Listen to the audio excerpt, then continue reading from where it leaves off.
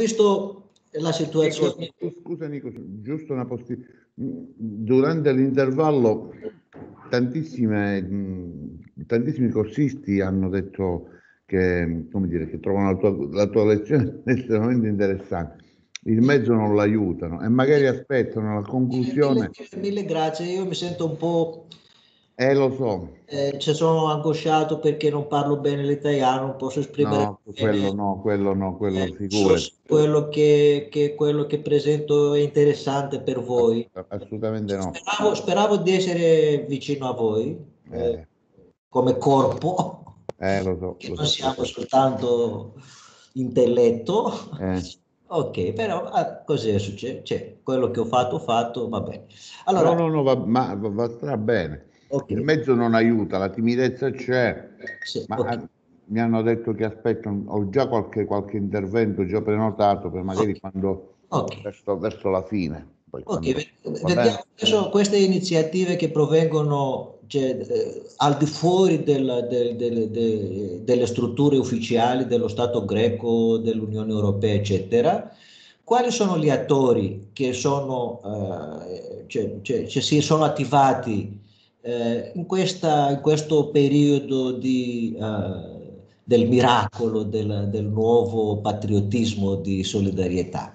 Io, eh, eh, per, per- per- farvi capire c'è diverse categorie della- de- de- de- delle persone che sono attivate in questo periodo, eh, trago eh, quello che ha scritto Eutemios Papa Taxiarchis, poi lo potete trovare, eh, mi, mi sembra che è libero eh, sulla rete, eh, è pubblicato al, al- al giornale scientifico, alla rivista Anthrop- Anthropology Today. Eh, il titolo è At the Front Line of the European Refugee Crisis, Part 1, e poi c'è stata una parte seconda. Allora lui fa una categorizzazione tripla, corri- eh, ecco, tre- cioè divide in tre parti questa, queste categorie di gente che è stata implicata a- all'aiuto, all'accoglienza e la- a- a- ai gesti di solidarietà. Eh, scrive Papataxiarchis che abbiamo, cioè, questo, dopo questo aumento dei profughi, dei rifugiati che arrivano sulle isole greche, nelle isole greche abbiamo visto l'afflusso anche di, c'è un altro, eh, un altro flusso eh, eh, di solidari, eh, eh, solidarians in inglese, eh, per- l'ho tradotto solidari, non so se, se- se significa qualcosa per voi questa parola. Certo, capiamo, capiamo. Eh, volontari, una seconda categoria, categoria eh, dei volontari e la terza categoria sono questi eh, che possiamo eh, chiamare professionisti eh, umanitari, che tutti hanno diverse aspirazioni, diverse motivazioni, ma hanno anche un, un obiettivo comune eh, di facilitare, di aiutare, di assistere eh, eh, i nuovi arrivati. Pa- Papataxias, ho detto ieri, è un- cioè, un- un- una persona incredibile, eh, aveva fatto la sua ricerca eh, etnografica a scala Sicamias tanti anni prima della crisi, allora ha avuto, cioè, una, una- una- conosceva la gente, ha entrato eh, nel campo, sul campo eh, de- de- della ric- cioè, per fare la- questa ricerca etnografica, vive a Lesbos, eh, insegna all'Università di Egeo, al Dipartimento di Antropologia Sociale e c'è un, c'è un- un- un- un- un dipartimento misto, storia e antropologia sociale, e questo è un articolo molto conosciuto, molto citato, molto pregiato, eh, intitolato Being There Part 1 and Part 2, eh, che eh, fa- farò anche un Word eh, dove darò ai corsisti eh, testi in inglese eh, che ho, consig ho, consigliato per fare queste presentazioni. Ottimo. La settimana prossima lo farò questo. Allora, vediamo la prima categoria, quello che scrive eh, Papa Taxiarchi sui Solidarians. Vediamo una foto eh, con una bandiera eh, eh de, de, di, questi, di, questo tipo di, eh, di uomini eh, e donne, attivisti, provenienti dall'area più che altro antifa. Eh, tra i nuovi arrivati da diverse parti della Grecia c'è una categoria la cui presenza, scrive, è motivata da forti imperativi ideologici. Ecco, l'ideologia che spinge questa gente a andare, lasciare Atene o altri posti, andare a Lesbos, a, a, a Scala Sicagnas, ai campi di, eh, di detenzione, eccetera. Per i solidari, i solidali, esserci eh, al posto fa parte di un progetto più o meno utopico. Vogliono creare una collettività autogestita, auto-organizzata, costruita sulla base di solidarietà e quello che si chiama orizzontalità, una parola greca, eh, senza eh, hierarchies, eh? gerarchie, eh? Okay. Eh, riunendo persone da diversi ambienti per stare accanto ai rifugiati con dignità, e questa è la parola ecco, sim che simbolizza cioè, i loro motivi. Eh, la loro strategia fa parte di una, un più del più ampio movimento di solidarietà che abbiamo visto eh, di crescere in Grecia negli anni dell'austerità austerità e questi attivisti sono, arrivano a scala Sicagnas quasi dall'inizio della crisi, occupano spazi comuni, eh, estendendo così il modello altamente politicizzato di solidarietà con i profughi alla periferia dell'Europa, dove è più necessario, invece di stare ad Atene, eh, vanno alla periferia, eh, ai confini, eh, alla frontiera europea per dare questo uh, paradigma. Umanesimo, antropia in greco, non umanitarismo e altruismo, disinteresse in questo senso, sono uh, il loro motto eh, il quadro in cui avanzano alleanze e relazioni con i pochi locali che sostengono il loro progetto. Praticamente pochi, po pochi locali eh, nativi eh, nati eh, ecco, a Lesbos e tanti studenti universitari dall'Università di Egeo. Questa è la prima categoria che possiamo vedere eh, in questo periodo eh, di, eh, delle, de, della solidarietà agli stranieri. Un'altra categoria sono i volontari, più ampi, questa più ampia categoria di visitatori.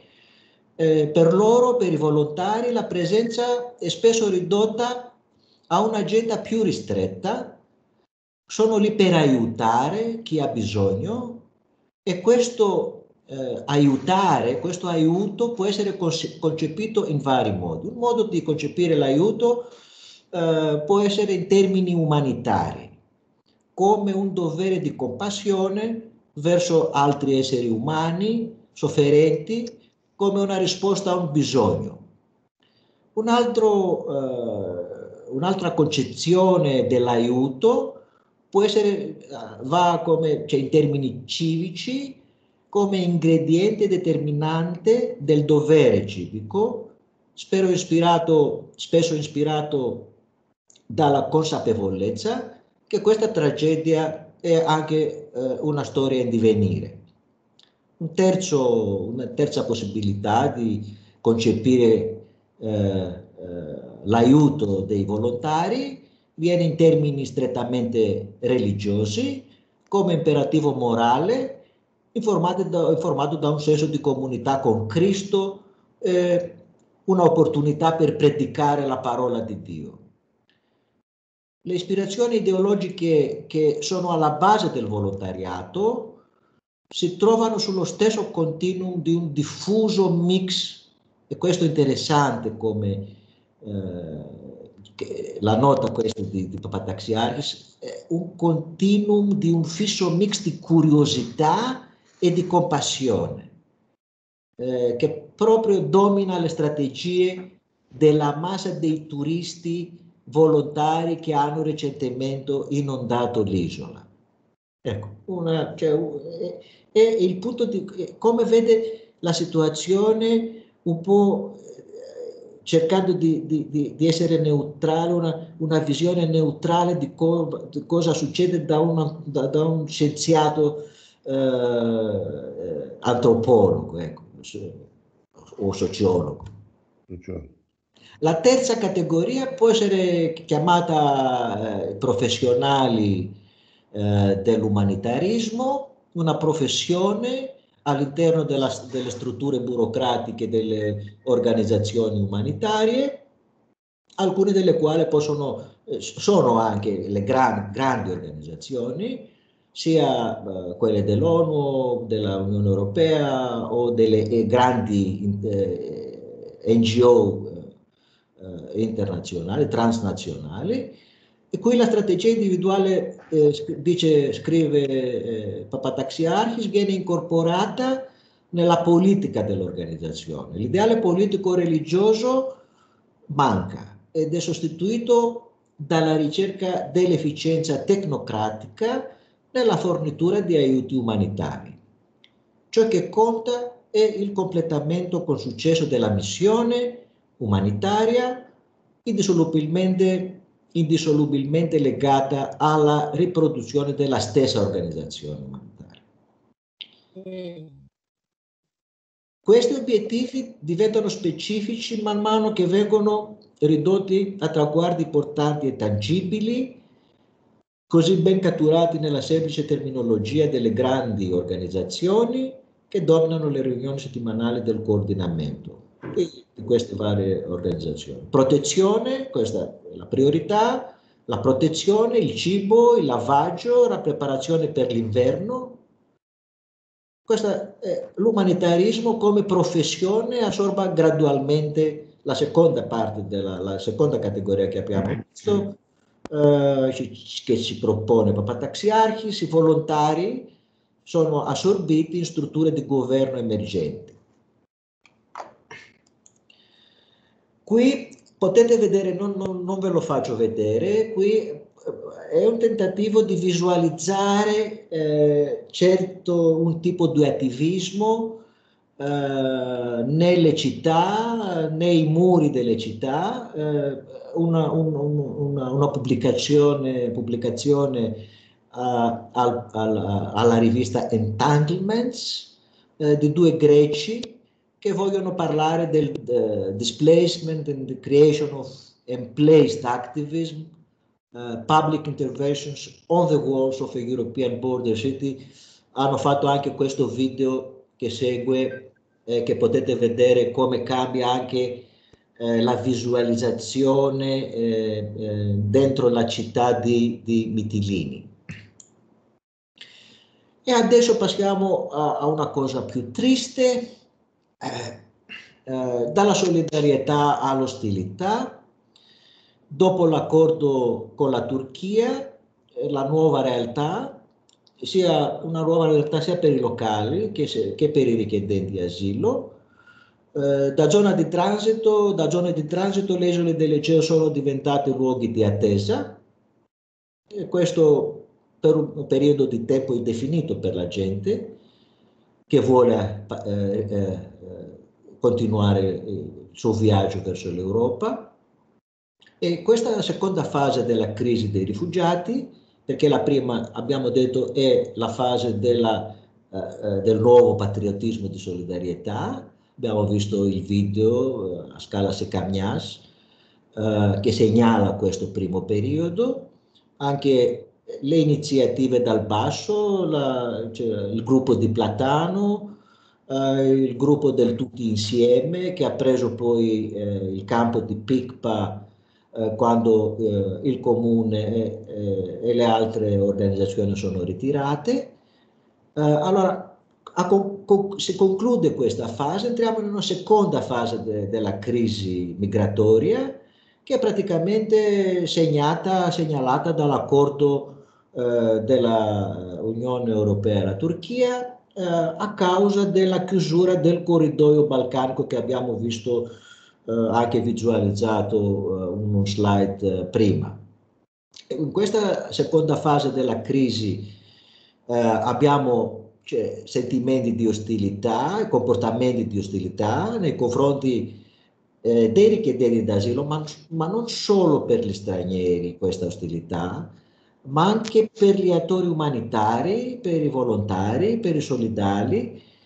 E dall'altro c'è, una, c'è un'altra caratteristica, è appunto il prolungamento, eh, il prolungato intrappolamento dei richiedenti asilo nelle isole da un mio amico eh, che collaboriamo uh, al Dipartimento di Creta di Konomakis, uh, che darò anche la, uh, la, pubblicazione.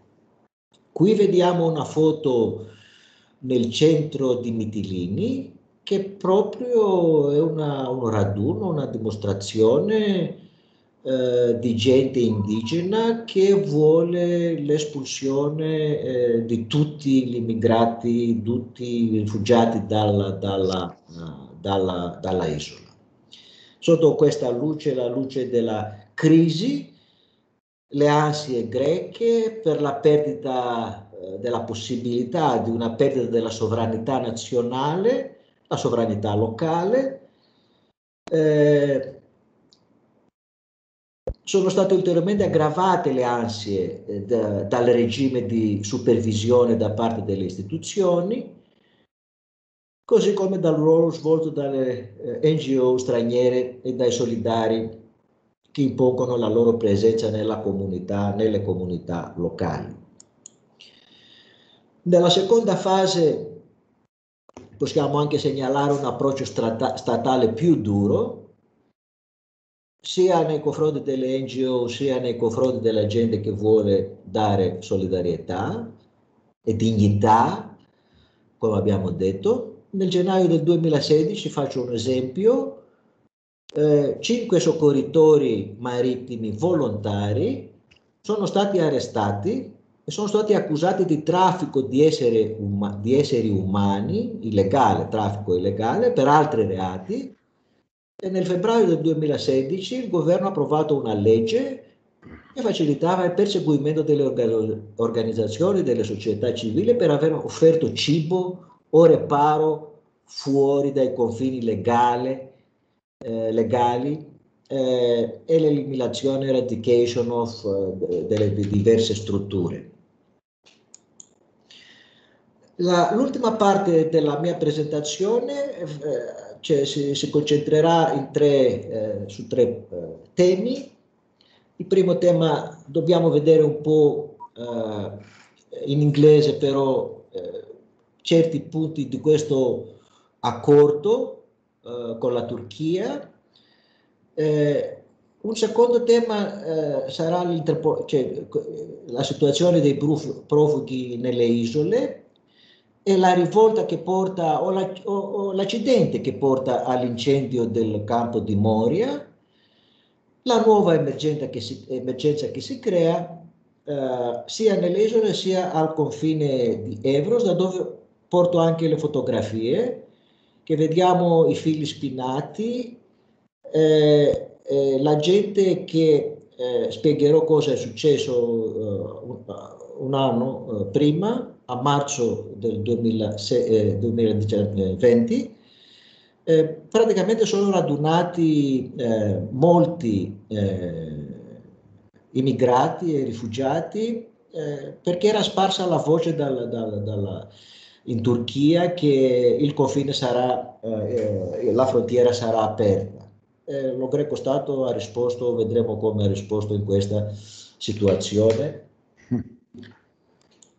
Ok, le, eh, vediamo adesso uh, uh, questo, questo, accordo tra European Union e Turkey, Turkey 18 marzo del 2016.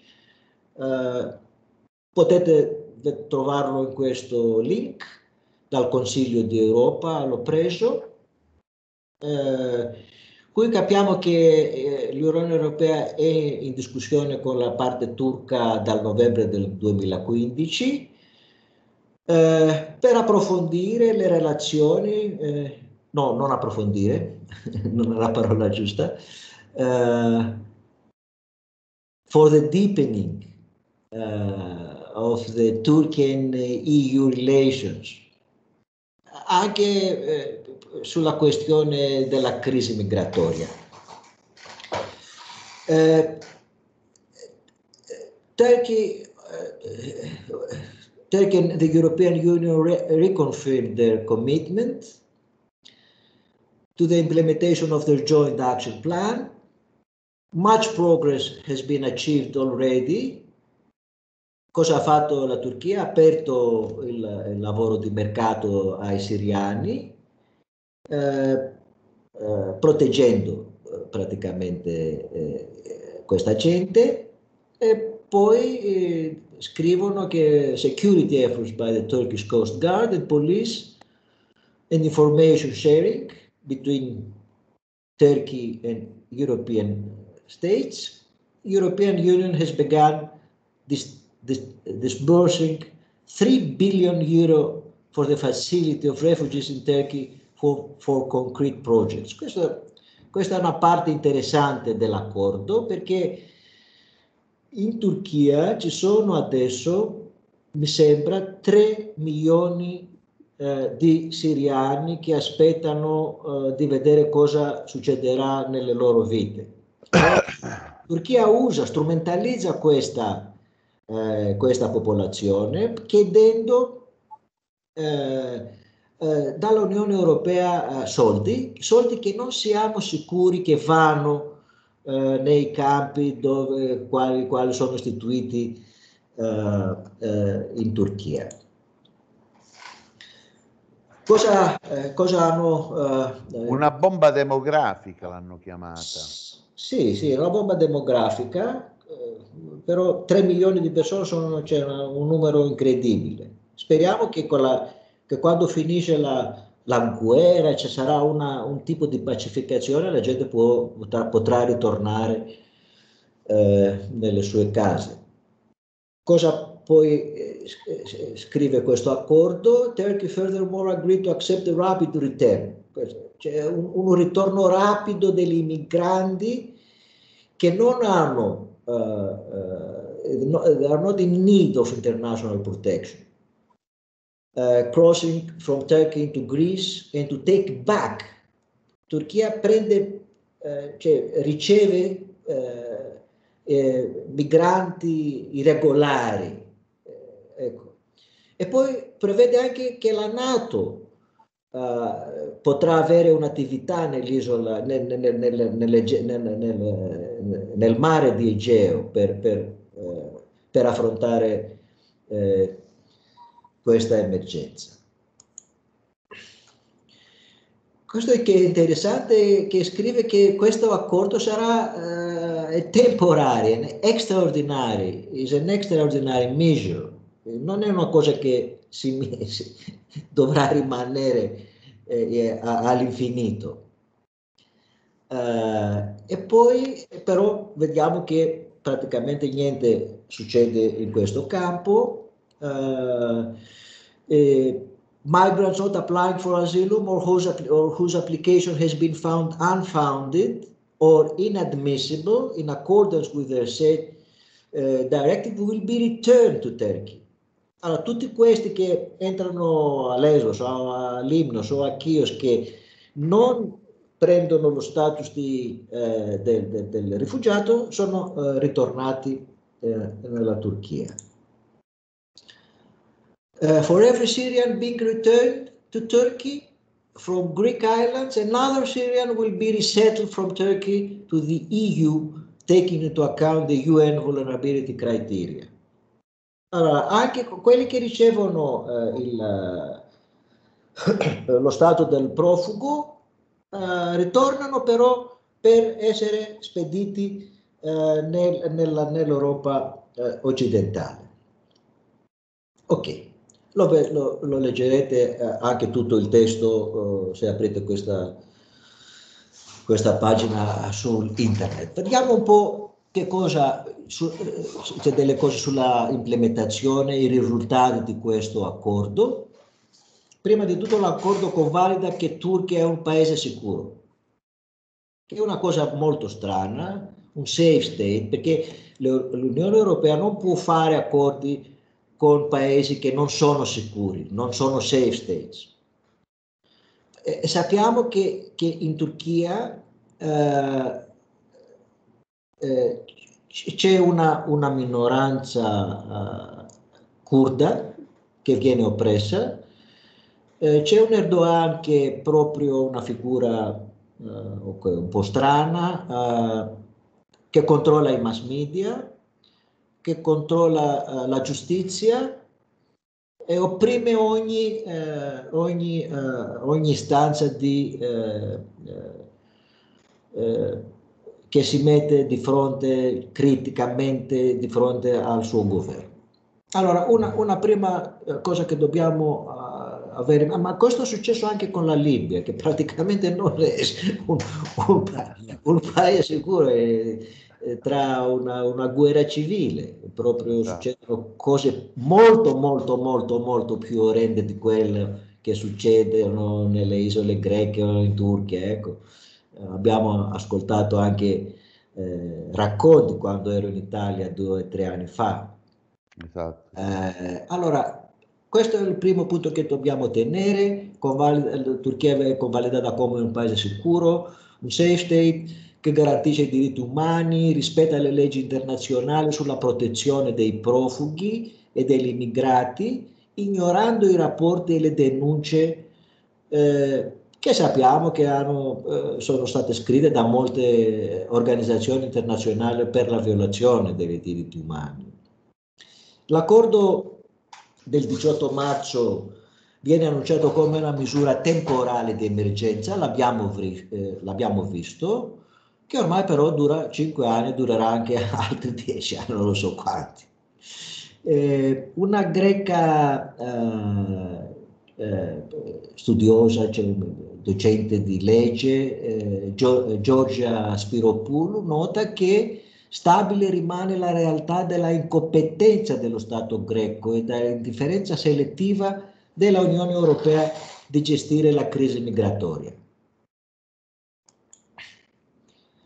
L'accordo eh, eh, tra l'Unione Europea e la Turchia praticamente prevede la, una restrizione, una, una cosa che può, può essere descritta restrizione geografica dei richiedenti asilo nei posti dove sbarcano. Eh, nel febbraio del 2020 42.000 richiedenti asilo vivevano dentro strutture chiuse nelle isole, essendo obbligati di rimanere lì fino al completamento dell'esame delle loro domande.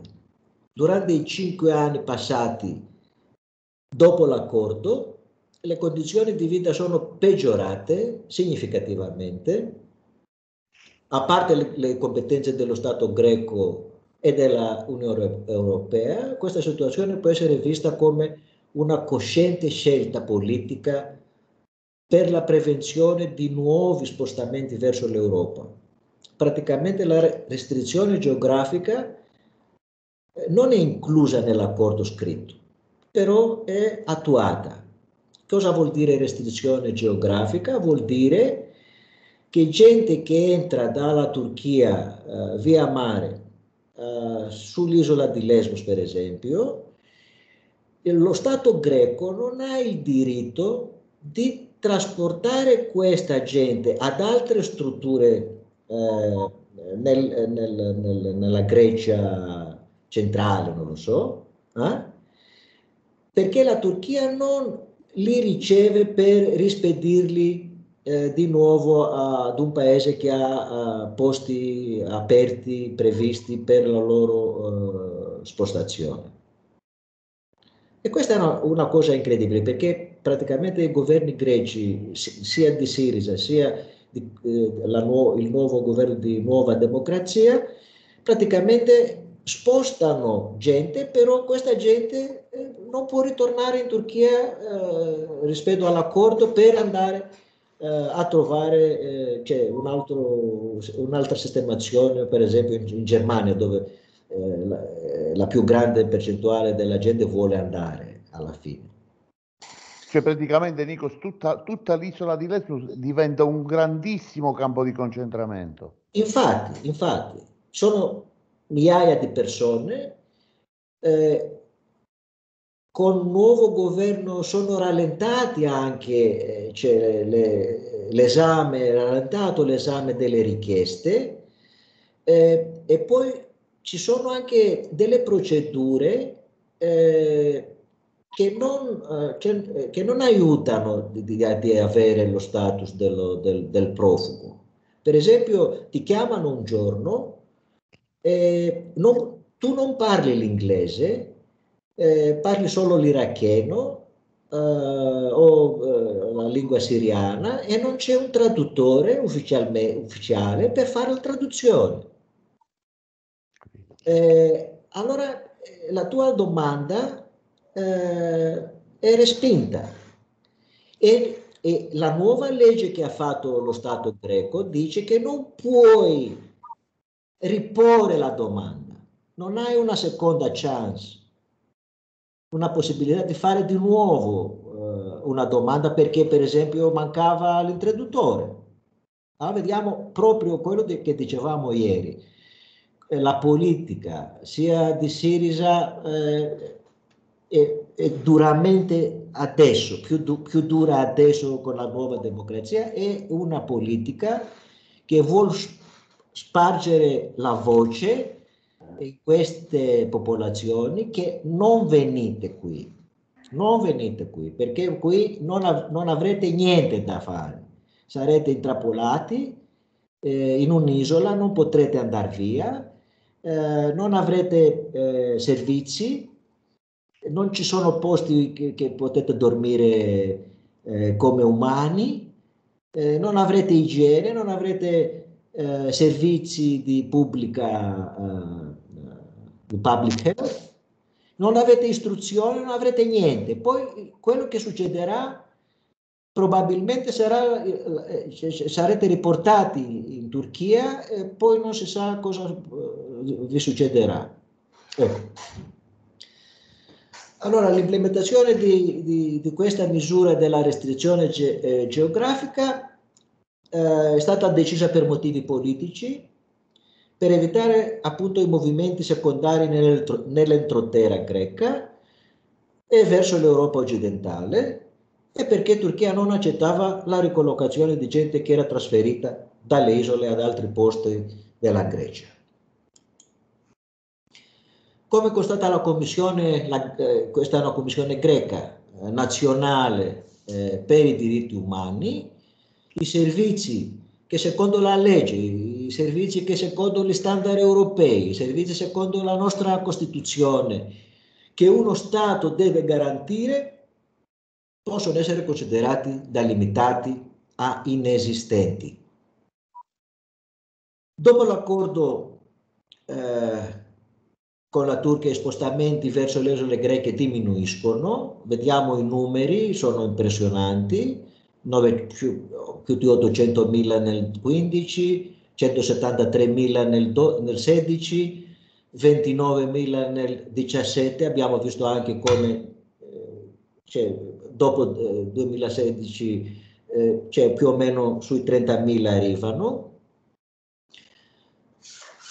Questa diminuzione possiamo capirla soprattutto so, cioè, eh, a causa della minaccia, di, della minaccia che eh, gli immigrati o i rifugiati possono rimanere per un tempo eh, veramente impreciso, eh, confinati in un'isola do, eh, da dove eh, è difficile uno di sfuggire, deve, deve prendere, devi prendere la nave, ma la nave c'è, è scordata, il porto è scordato e non puoi lasciare l'isola gente che vuole entrare in Europa sceglie di rischiare l'ingresso dai confini terrestri di Evros, allora cambia uh, il corridoio per l'entrata uh, in Grecia, nel 2019 Grecia sarà lo Stato membro della eh, comunità dell'Unione Europea che riceverà la maggior parte degli, degli arrivati via terra e mare.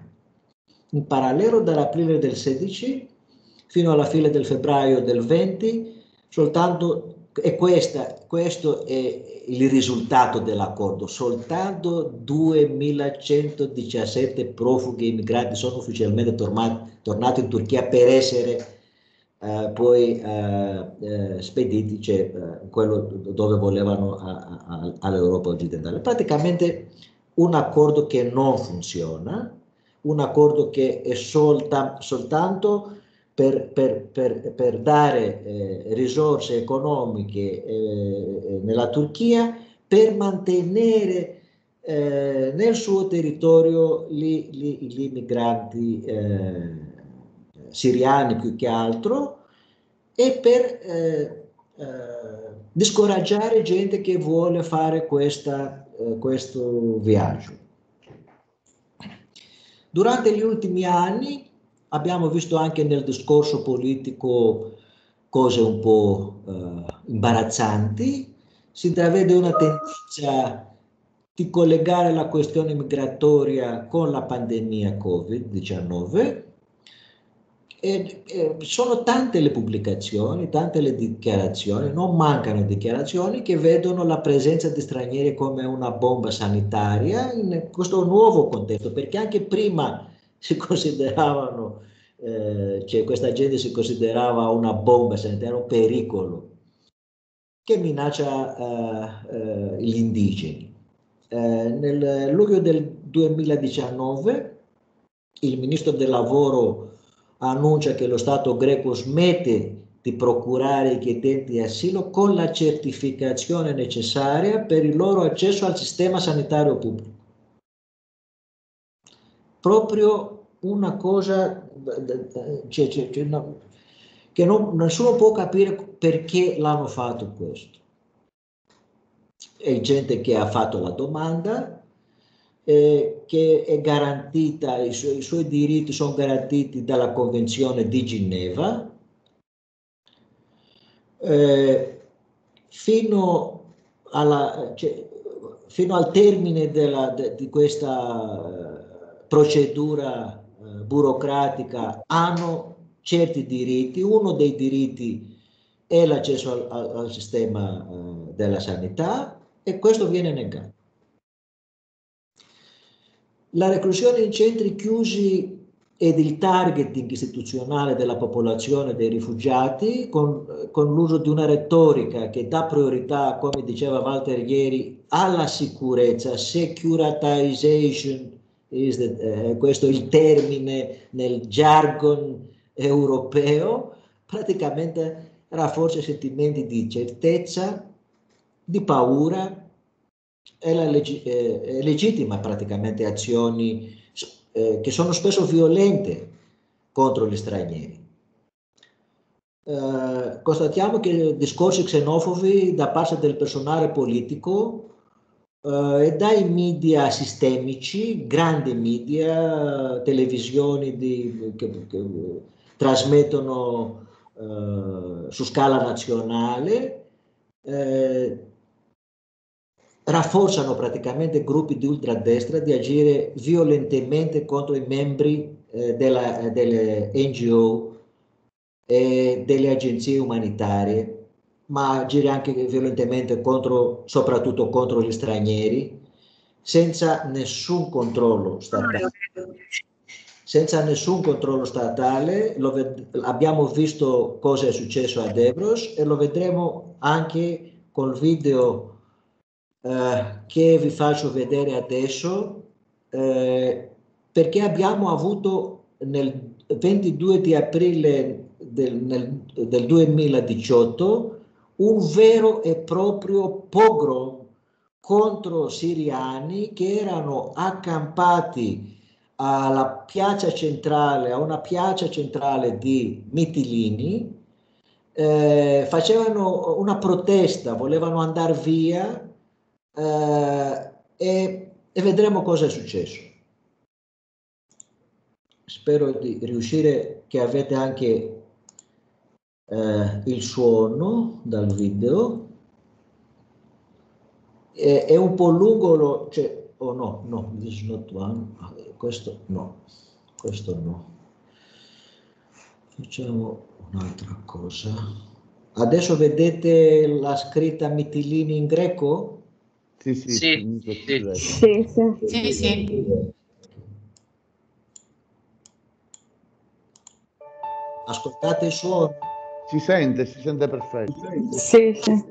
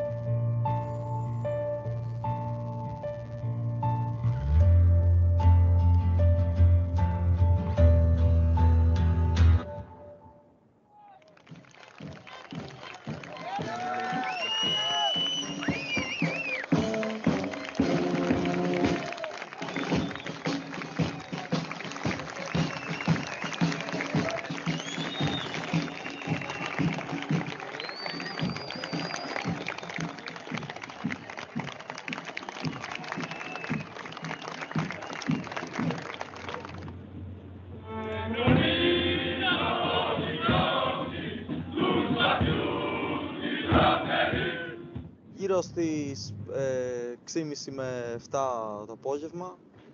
Ε, υπήρχε κα, καθιερωμένη υποστολή σημαίας ας πούμε, στις Απφούς. Βέβαια αυτή γινόταν και με ένα κάλεσμα από την πατριωτική κίνηση. Και κάπως μέσα, μέσα εκεί αρχίσαν να τραγουδάνε τον εθνικό ύμνο. Και αφού έγινε η υποστολή και τα λοιπά, κατέβηκαν και από το σύνδεσμο ας πούμε Τσάικ του Ολυμπιακού και του Παναθηναϊκού αλλά κυρίως από το σύνδεσμο Τσάικ και ήρθαν και αυτοί που ήταν στην υποστολή και βρεθήκαν στο μπροστά μέρος της πλατείας που ήταν και, και οι μετανάστες εκεί πέρα και κάπως βρέθηκαν μετανάστες, τα ΜΑΤ και ε, από μπροστά οι, οι φασίστες ακροδεξιοί. Αυτό που λέω και εγώ μιλάω.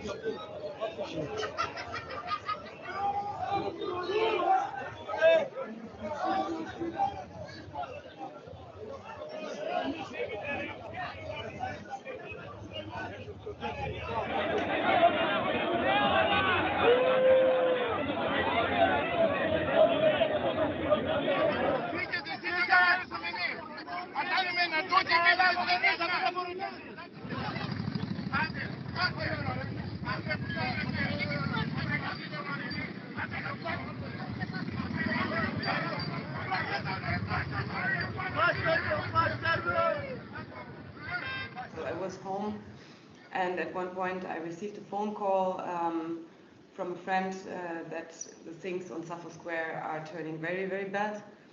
So I went there, um, and when I arrived, I saw a group of migrants um, sitting or standing in a circle. Um, in the middle were all the women and children, and the men were like standing in a circle around and holding a lot of blankets. And in the very first moment, I didn't really understand what happened um, until I saw like a very big group of people um, throwing stones and uh, firework on them, yelling um, fascist. Uh, what is it called?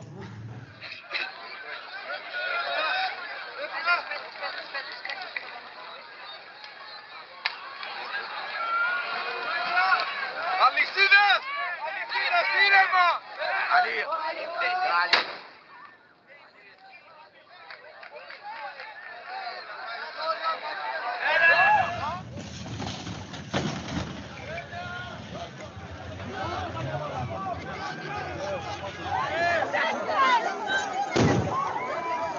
χθε είχαν πολύ, με πολλά διαφορετικά μέσα, είτε με τα μάρμαρα που σπάγανε στην πλατεία της Αφούς, είτε με πέτρες, είτε με μπουκάλια γυάλινα πλαστικά, με φωτοβολίδες, κάποιοι είχαν γαλλικά κλειδιά, κάποιοι είχαν γνωστούς.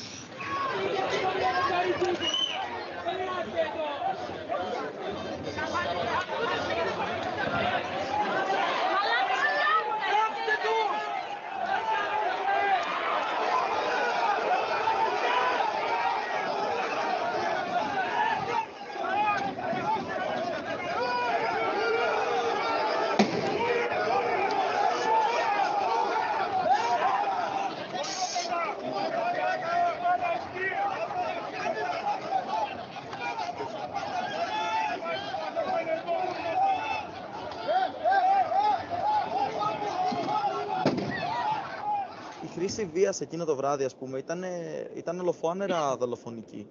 Δηλαδή, ε, αν, αν λάβουμε υπόψη το πώς οι μετανάστες, ας πούμε, ε, και αλληλέγγυοι, είχε- είχε, είχε στηθεί αυτή η ανθρώπινη αλυσίδα, ας πούμε, στις οποίες στο εσωτερικό βρισκόντουσαν γυναίκες και γυναικόπαιδα και πώς είχαν μπει από πάνω, ας πούμε, οι κουβέρτες που υπήρχαν κάποιοι οποίοι κρατούσαν κουβέρτες για να μην πέφτουν πέτρες ε, στα παιδιά κτλ. Ε, πώς κάποια στιγμή, ας πούμε, οι ναυτικές φωτοβολίδες άρχισαν να έχουν στόχο συγκεκριμένα το κέντρο, εκεί που ήταν τα παιδιά κάτω από τις κουβέρτες και οι γυναίκες, ναι, και σημαδεύαν, ας πούμε, τις ναυτικές φωτοβολίδες πάνω σε αυτά, που κάποια στιγμή κιόλας πήραν φωτιά, έτσι. Είναι φοβερό πως δεν έμεινε κανείς στον τόπο. Δηλαδή, έβλεπα κάτω τα, τα μάρμαρα τα οποία ήταν σε μέγεθος ε, σαν το κεφάλι μου και, και λες, αυτό έπεσε σε κάποιον το κεφάλι, ας πούμε, πώς, πώς δεν έμεινε στον τόπο. I saw people like with really big wounds on their head from the stones. Um, I saw people that had um, wounds from the fireworks that exploded right next or on them. Um, you could smell the, the fireworks um, everywhere. The ambulance, we had to call for um, also a pregnant woman, um, and there was a family with a lot of children. But also, there was a guy who passed out at one point. I think he also got hit uh, on his head. And um, the problem was that the ambulance couldn't even come close because the roads were blocked, so we had to carry him. Um, which again was problematic because we knew that uh, smaller groups of fascists were all over the place. So the main group were like opposite the migrants on Safo Square, but there were groups like four to ten people um, running around uh, all over the town, and um, we were pretty scared that they will take the chance and um, attack us. Uh, it didn't happen. We managed to bring him to the ambulance somehow.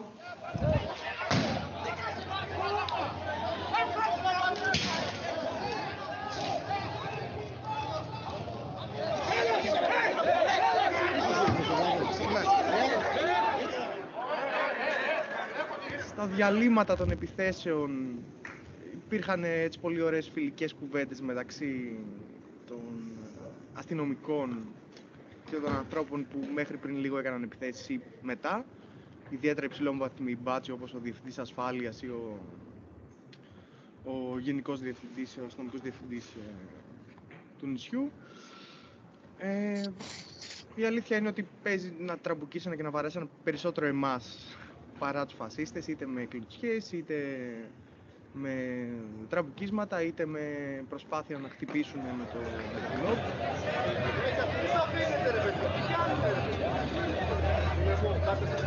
Μην μιλάς, ούλος το και ησύχασε. Μη συμπαθήσεις για σένα πλάκα το με τους τώρα. Ούτε, μη μιλάτε, άνθρωποι σου πέρα στην τσάρων. Μη μιλάτε.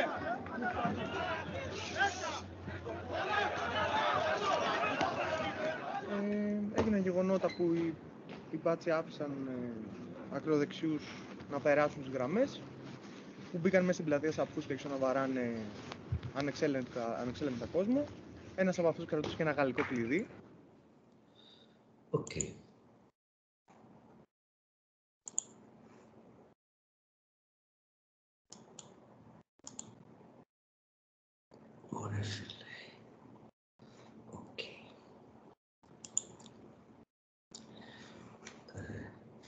Abbiamo visto eh, questa- questo pogrom che è successo ad aprile, due anni fa, tre anni fa. Eh, non, so, non so cosa posso dire su questo. Praticamente una, eh, c'è una, una- una solita, anche nei nostri giorni, immagine eh, della polizia che eh, che dà aiuto praticamente a, a quelli che offendono gente o attaccano gente. È successo anche l'altro ieri a Salonico. Vediamo eh, police officers, eh, ufficiali di polizia, di polizia che parlano con loro, non li arrestano, li lasciano fare quello che, che fanno eh, e poi piccano eh, la gente che viene attaccata. Ok. È una storia che si ripete, Nikos. Una storia che si ripete. Allora, così parliamo un- del, del ritorno della xenofobia. A seguito delle proteste organizzate dai residenti di Lesbos e dai rifugiati, dai migranti contro le condizioni eh, nel campo di Moria, il personale delle NGO sta subendo una crescente ostilità da parte di gruppi xenofobi locali. E un altro evento importante per la storia dell'isola eh, è questa che c'è, eh, l'evento del sabato 8 marzo, quando scoppia un incendio che distrugge completamente la struttura, una struttura che offriva lezioni di istruzione, eh, di istruzione e seminari a 25.000 rifugiati. Eh, questo centro comunitario si chiamava One Happy Family, eh, si trovava a pochi metri dal centro di accoglienza di Karatepe, che in quel periodo ospitava eh, 1500 eh, migranti e rifugiati, famiglie e persone vulnerabili. Secondo Refugee Support Aegean, potete tro- trovare anche il sito di questa organizzazione, entro due mesi, dal febbraio al marzo 2020, sono stati segnalati 23 attacchi contro volontari, contro membri di organizzazioni umanitarie, giornalisti, eh, eh, attacchi su infrastrutture nelle isole dell'Egeo orientale. E poi passiamo all'incendio eh, della, eh, del campo di Moria, eh, l'evacuazione del campo, sono migliaia di profughi che sono spostati verso la città di Mitilini, vediamo un'immagine, la gente ha perso tutto, le tende, eh, materiale, vestiti, tutto, documenti bruciati, sono stati per giorni eh, sulle strade che praticamente erano bloccate anche dalla polizia vicino al campo, all'altro campo di Karatepe. Per un, paio di giorni sono costretti a rimanere sulla strada che collega Mitilini a un villaggio che si chiama Mantamados. Vediamo questo video, ma sembra che ho fatto un, un errore. Ok. Eh, vediamo un po' sulla distruzione.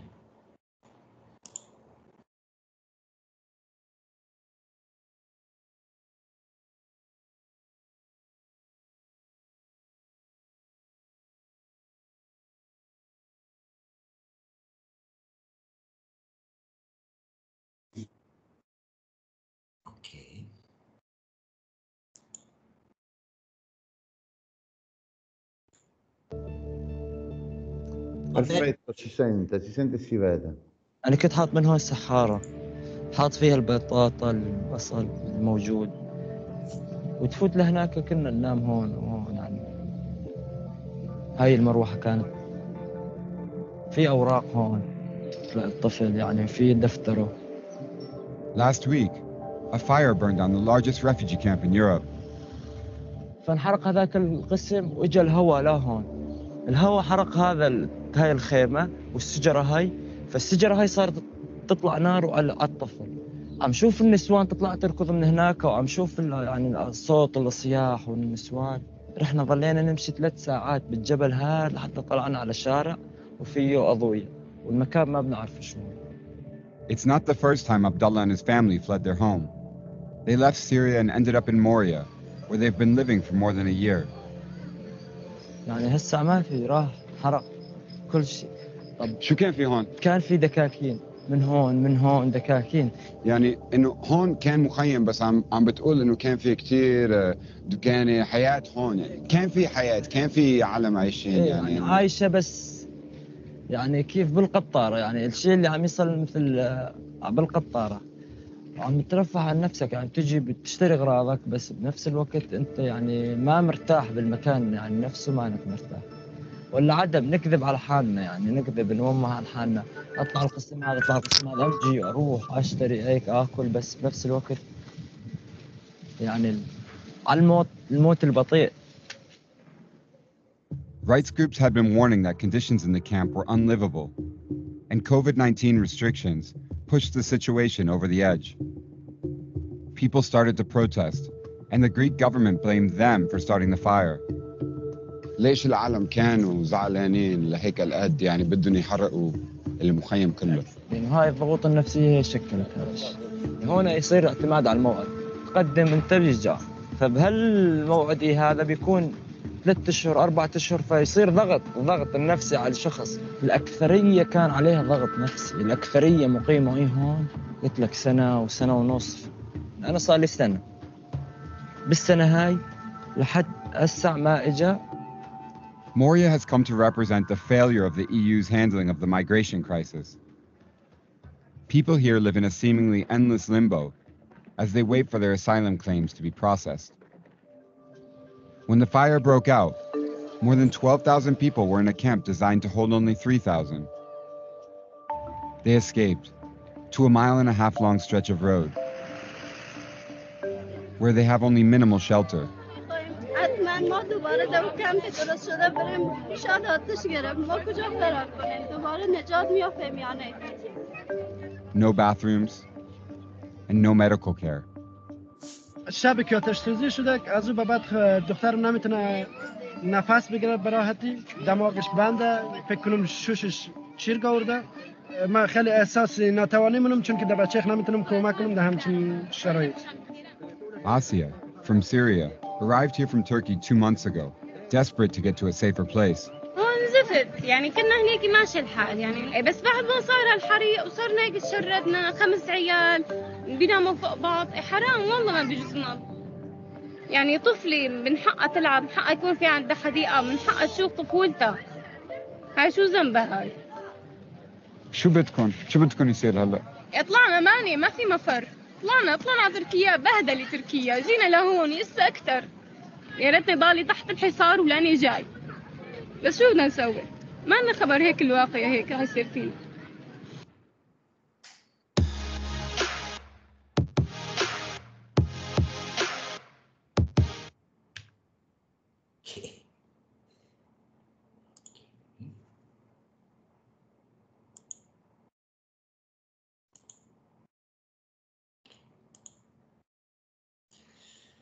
Allora, An- Anche lo spot pubblicitario, Nikos. sì, sì. Ah, mi hanno pagato per questo. Allora, dopo la, la- la distruzione di questo grande campo eh, inumano, eh, la gente locale si oppone alla creazione de- di un nuovo centro di detenzione. Dopo l'incendio il governo greco annuncia la creazione di un nuovo centro di detenzione chiuso in una nuova lo- località. La gente locale si oppone alla creazione di questo nuovo centro. Praticamente eh, la gente chiede eh, il diche- eh, decongestionamento dell'isola. Eh, sarà l'occupazione del porto di Mitilini e delle strade principali e la risposta del governo eh, è quella di inviare quattro agenti di polizia antisommossa Proprio c'era una guerra civile in questi tre giorni, ci sono stati scontri molto violenti tra dimostranti eh, della polizia. Eh, alla fine eh, a Karatepe eh, si, si fonda questo nuovo campo Eh, però la situazione resta disastrosa anche in questa nuova struttura di KDP. Vediamo una grande foto dall'alto. E l'organizzazione sembra che funzionano anche eh, in Italia, eh, i Medici Senza Frontiere Sì, sì, sì. avviano eh, un programma di vaccinazione antitetanica perché ci, ci sono bambini morsi da topi in questo nuovo campo. Ecco. Eh, I servizi igienici, eh, le strutture per lavarsi il cibo rimangono inadeguati. Inoltre la vita in tende umide durante i freddi mesi invernali rappresenta un serio rischio eh, eh, per la salute degli abitanti. E poi eh, concludo con, eh, con, la crisi eh, al confine di Evros, che praticamente abbiamo la politica di Erdogan di strumentalizzare la questione migratoria eh, prima per ottenere concessioni dalla parte dell'Europea eh, europea, più, più, di quelli 3 mi, eh, miliardi, eh, che, milioni di euro, scusatemi, che abbiamo visto, eh, è stato un nuovo accordo che dà uh, altri eh, milioni di euro. Uh, miliardi, Enrico, miliardi. Miliardi, ecco, non milioni, miliardi in Turchia. Ecco. Una, una, seconda ragione eh, della politica di Erdogan era di, la, di, eh, voleva rafforzare la sua posizione all'interno della Turchia, riaccendendo i sentimenti nazionalisti e ultimamente c'è l'ultimo eh, per fare pressione sulla Grecia perché ci sono molti temi aperti tra uh, Grecia e Turchia uh, sul mare Egeo, Uh, sulle scavazioni uh, per, lo so, per fonti energetiche, risorse energetiche, eccetera. Il governo greco denuncia la Turchia per aver orchestrato l'invasione di immigrati clandestini e ordina alle forze militari di respingerli dal territorio greco. Quello che vi descrivo, l'anno scorso a marzo, all'inizio del marzo ero con mia moglie a Costantinopolis, ad Istanbul, Abbiamo eh, sentito sui telegiornali che qualcosa di grave si succedeva eh, nella frontiera di Evros. Eh, stavamo in un albergo dove c'era uno, un, un rifugiato, un immigrato dalla Siria e ci ha detto che il governo turco, la polizia, ha sparso la voce che il confine sarà aperto. Allora, cosa facevano? Prendevano la gente li portavano gratis verso il confine.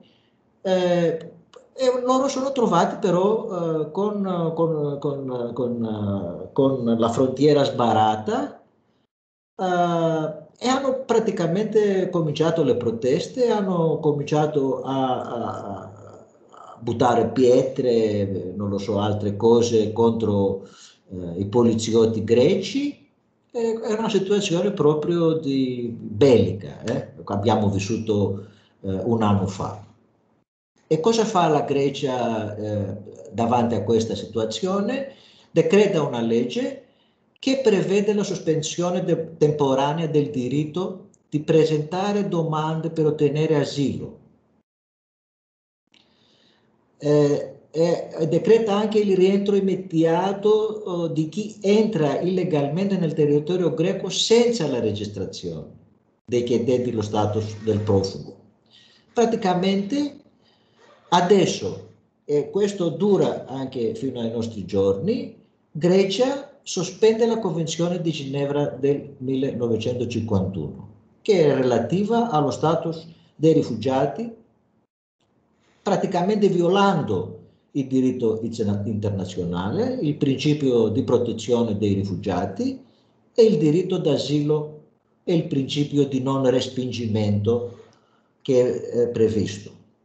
Qui possiamo vedere i campi che sono dappertutto la Grecia, con rosso quelli più affollati, con gli altri colori eh, meno affollati e col bianco ancora meno affollati. Vedete l'eccezione di Creta, non c'è nessun campo perché qui abbiamo un, un grande lobby eh, dell'industria turistica che non vuole campo perché se ci sarà un campo eh, a Creta non verranno i turisti, allora niente soldi per lo Stato, per lo stato greco.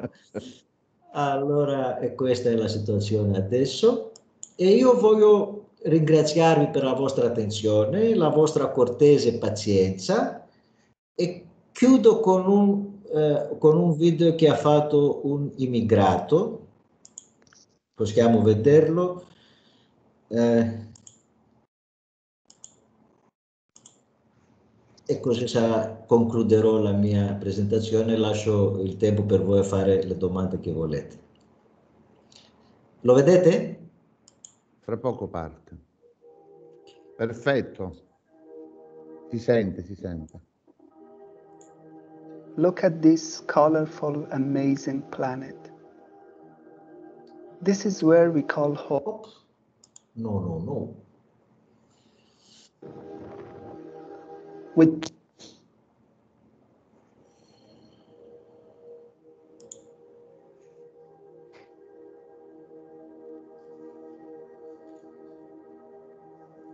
Look at this colorful, amazing planet. This is where we call home and supposed to feel safe and free. But down here, things are complicated and tough. We don't feel safe and we are not free. We are divided by colors, religions, parties, and borders. With the decision of some of us, they can make the lives of thousands of people miserable. One signature can destroy people's future. It's me, someone who you are calling refugee. My ancestors were from Africa. My mother was princess of Syria. My soul came from Afghanistan and I had born in a small village in Iraq. My flesh is here, somewhere in Europe. Yes, I am refugee. The oceans have tasted my blood, and roads around the world know my footprints. All my paths lead to a big wall called the border. You may think we are as a Christ in the throat of the world, but all the sorrows of the world end in my throat.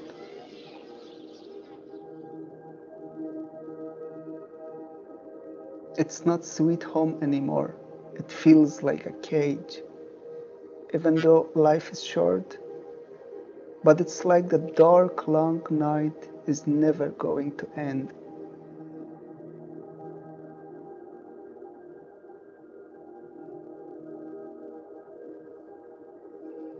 It's me, a refugee. The colors of the sunset always amazed me. They remind me of my village. The breeze from the mountains, falling leaves from the mulberry trees, and the rain I felt on my cheeks, the silence of snowfall calming me. But it's different when you're living in a refugee camp. The sunset is not beautiful anymore. It's the beginning of a long, dark night. The breeze brings a painful cold. The falling leaves prove a miserable life passing fast. The rain crawls in your tent from everywhere, filling it with water.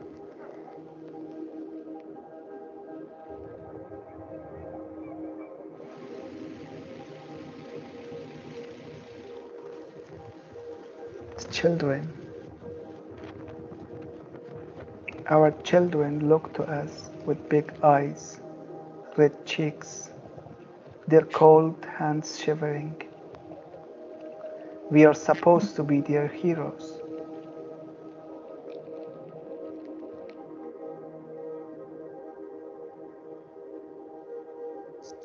The hardest part of being refugee is the uncertainty.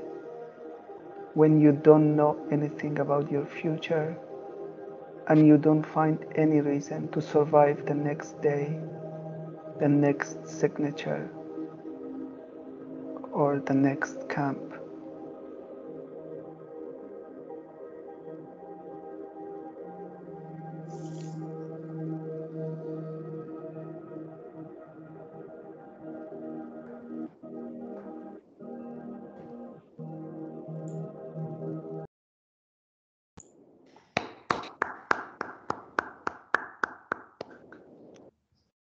Veramente, veramente toccante.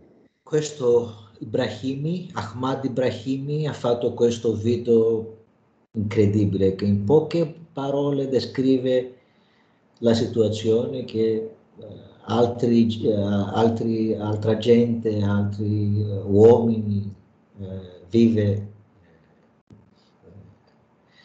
E a me mi somiglia molto al periodo eh, tra le due guerre quando c'erano migliaia di profughi che cercavano di andare via dall'Europa, di trovare un posto di vivere eh, fuori da, da, da questa uh, situazione creata dal, da, dai nazisti.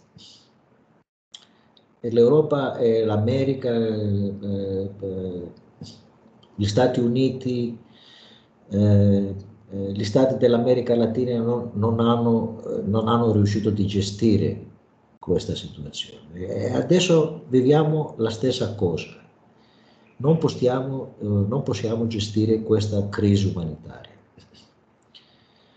Allora, vi ringrazio per la No, Nikos, attenzione. siamo, siamo- siamo noi che ringraziamo te, anche perché tu ci hai fatto vedere quello che noi, come dire, forse ci gi- girandoci dall'altra parte non vediamo.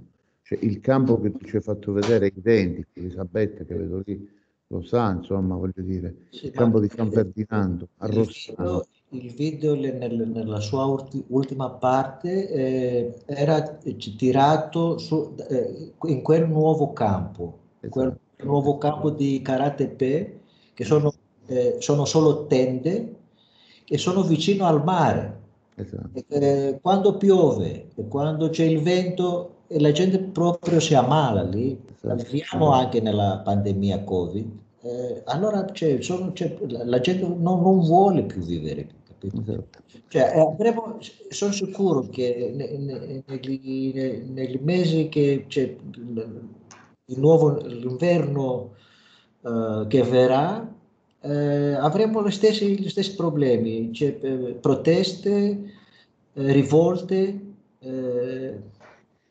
rivalries between Sì, sì, no, ma come, come dicevo, noi- è, ste- è la stessa identica fotografia del campo di San Ferdinando a Rossano, che era una baraccopoli fatta con, con- con materiali di risulta, con lamiere. È, è- è sta- è stato un campo visitato da Salvini, ministro degli interni, che ha pensato bene di non smantellarlo perché è funzionale all'economia in nero del- della zona, anzi ha proposto la soluzione, secondo lui, di trasformare quelle baracche di lamiera nelle stesse tende che tu hai visto, che poi hanno preso fuoco, ci sono morte altre persone, insomma, invece Riace, che era, era- era, dire, la stessa cosa che, che vedevamo nella- con, le tre, con le tre anziane, con le tre signore, che sono, praticamente hanno fatto quello che ha fatto Mimmo Lucano, esattamente. eh, eh, di- non c'è stato. Ma vor- vorrei, vorrei che anche Elisabetta dicesse qualcosa a conclusione, prima di dare poi la parola a- a- ai corsisti che già mi, mi stanno, mi stanno, come dire, pressando. Poi Elisabetta, se c'è il microfono. Eh, guardate, mh, insomma, secondo me le immagini e quello che ci ha detto Nix, eh, non aggiungerei altre parole. Eh, forse segnalerei che c'è una rispetto alla, alla situazione eh, del della piccola comunità che è questa di Scala Sica Mias. Eh, a me sembra che lì abbia partecipato tutto il paese eh, in una forma di solidarietà, come dire, immediata, eh, orizzontale, volontaria, eccetera. Eh, non so se è proprio il paragone più, più azzeccato, eh, anche se sono tutte le similitudini e quello con Riace. Però sicuramente ci sono dei punti di contatto. Per quanto riguarda eh, la situazione qui in Calabria, eh, sì, molte delle cose che vedevamo erano simili a quanto accade ogni anno a Rosarno, no? C'è sempre un incendio che a un certo punto spazza via una, una baraccopoli eh, che continua a vivere nonostante ci siano le tende, poi vanno a fuoco le tende, si spendono eh, parole di retorica inutile, eh, promesse che non ci saranno. Per quanto riguardava le conclusioni di Nikos, noi non, mh, mm, cioè l'Europa non sa eh, o noi non sappiamo gestire eh, la crisi eh, migratoria. È un po' come il gioco delle tre carte, perché l'Europa crea la crisi migratoria, eh, eh, forzando i migranti in un lockdown sull'isola e poi da lì eh, lo scenario è quello che abbiamo visto, no? cioè, se tu blocchi e, e, metti i turchi a fare da cani da guardia, eh, li paghi anche eh, profumatamente per fare questa operazione. Eh, quindi più che non sappiamo, non vogliamo affrontare la questione migratoria, ma questo insomma mi sembra che vada, vada da sé. E, ehm, ultima conclusione, forse eh, ragionando sullo stato invece della sociologia in generale eh, o degli studi appunto, che si occupano di migrazioni, eh, forse allontanarsi un po' dalle scrivanie e ritornare a fare ricerche sul campo sarebbe un'ottima cosa. Chiudo qua. Grazie Elisabetta. Walter il microfono. Apri il microfono. Allora, ecco, c'era, c'era eh, eh, eh, vedo con la mano alzata, ma invito anche gli altri, ma c'è Mario Chiaravallotti che ha alzato la mano, ma poi c'era anche eh, Anna Bambara, poi c'era eh, Giannalisa Morelli, ma vedo anche Marcella eh, Albanese, poi Giulia Albanese, insomma alzate le mani che, se no sì, Mauro, Mauro, Maurizio, scusa, sì. Maurizio. Eh, Maurizio prima. No, io volevo, eh, dopo aver seguito la lezione, io delle considerazioni. Allora, innanzitutto io concordo con la dottoressa della Corte quando dice che l'Europa non vuole affrontare questa cosa, perché eh, avrebbe, le, secondo me, avrebbe la possibilità de, di gestire, ma non lo fa perché è funzionale ad un sistema, primo.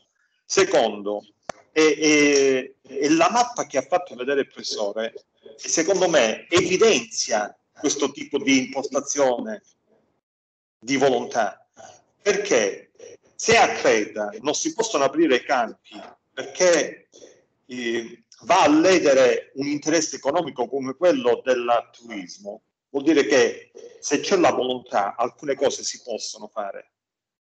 Quindi uscire dall'ottica che, eh, che non si possa governare il fenomeno, secondo me potrebbe aiutare a dire eh, cioè ci vuole una volontà politica ferma, perché eh, io concordo quando si diceva che le scene ricordano quelli della della seconda guerra mondiale, né più e né meno. E, e, l'unica differenza è che adesso abbiamo immagini a colori. Allora io dico, si proclamano sempre i diritti internazionali, dignità e tutte queste cose, però poi la Grecia sospende il diritto internazionale ed è normale. L'Italia fa accordi con la Libia dove non solo vengono eh, sospesi i diritti fondamentali dell'uomo, ma viene perpetrato un, un, un, vengono perpetrate delle eh, cose assurde.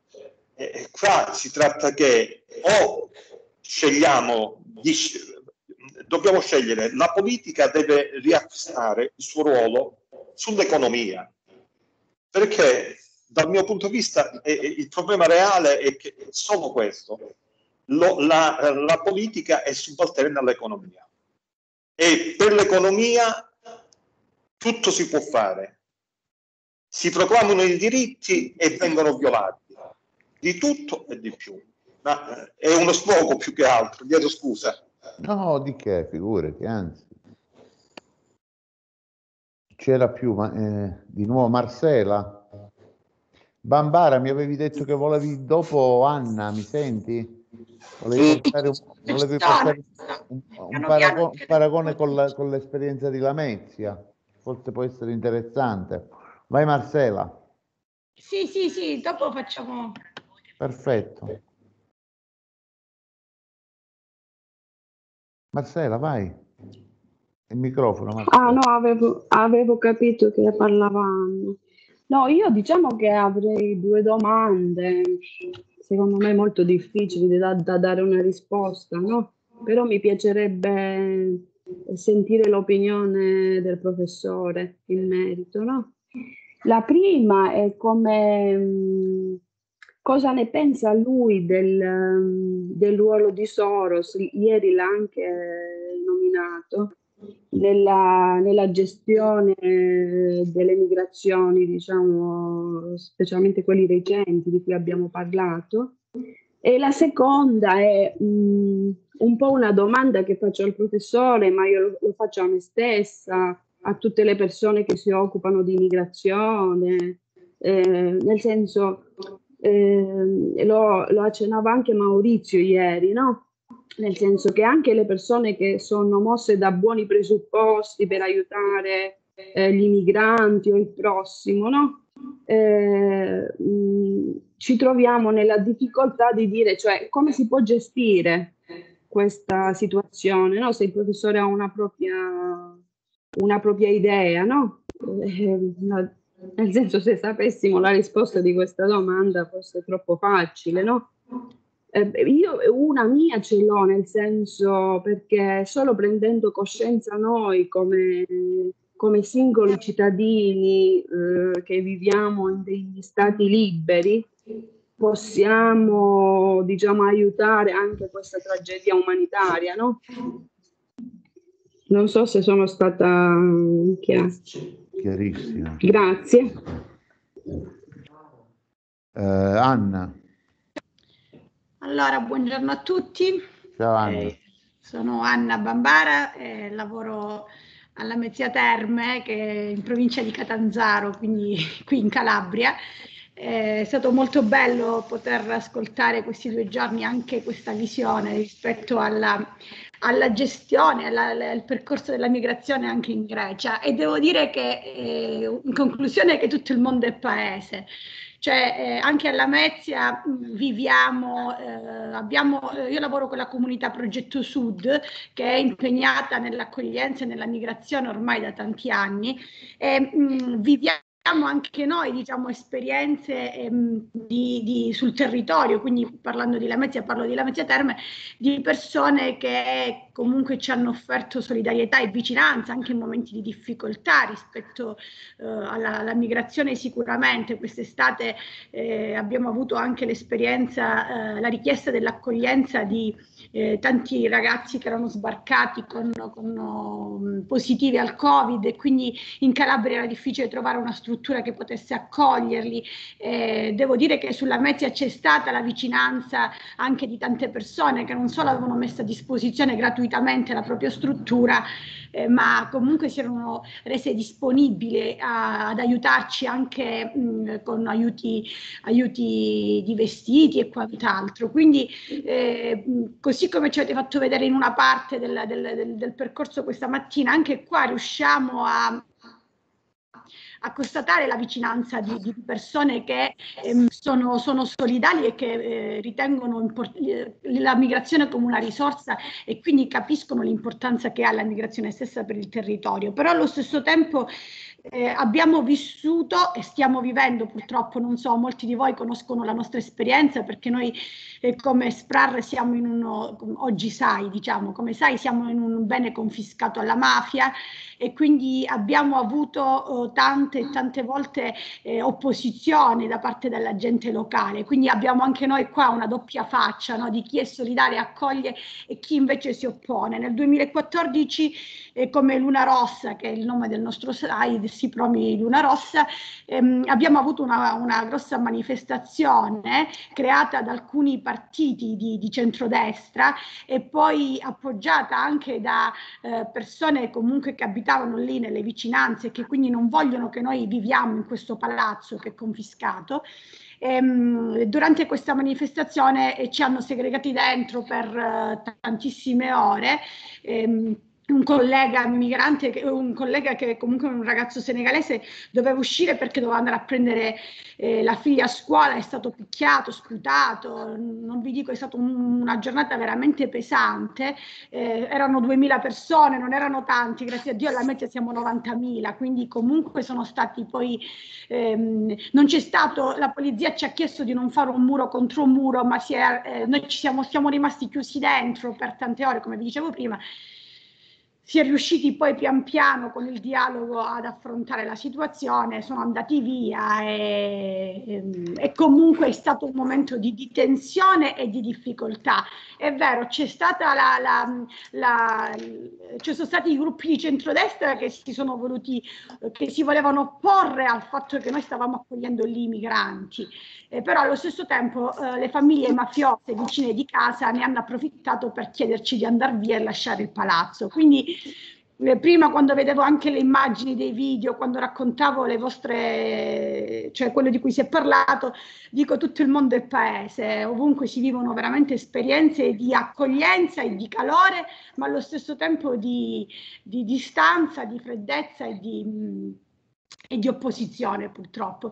Eh, la cosa che dico, noi siamo negli ultimi, eh, nell'ultimo mese purtroppo nella nostra struttura ci stanno facendo di nuovo delle intimidazioni mafiose, ci hanno tagliato le gomme perché vogliono che noi andiamo via dalla, dal bene, eh, dopo, nonostante ci siamo dentro da, da ben 13 anni, 14 anni, non è un giorno che siamo lì, ehm, però cerchiamo di mantenere, eh, cioè di mantenere comunque il nostro, il nostro impegno a non, non, non andare via, così eh, come eh, soprattutto cerchiamo di far sentire ai ragazzi migranti accolti il calore.